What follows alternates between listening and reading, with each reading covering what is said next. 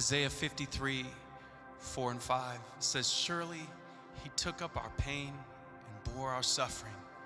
Yet we considered him punished by God, stricken by him, and afflicted.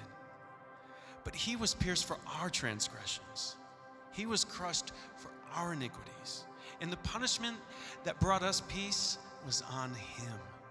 And by his wounds we are healed.